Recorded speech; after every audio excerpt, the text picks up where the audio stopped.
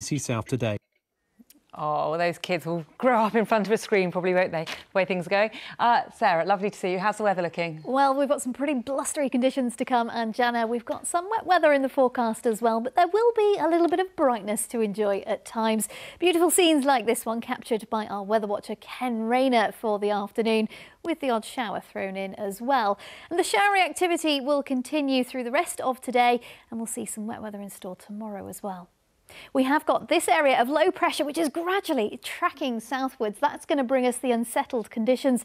This afternoon, showers, but we do see a band of wet weather after a dry start tomorrow and some heavy downpours following on behind it too. This afternoon, those showers could crop up just about anywhere. We may hear the odd rumble of thunder. The best chance of staying dry perhaps for southwestern parts.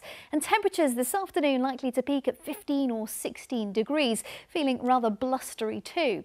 The showers continue for a time this evening and tonight, but we do start to lose them beyond midnight and we'll have some long clear spells overhead. A cool night on the cards, our temperatures likely to head down to 4 or 5 degrees.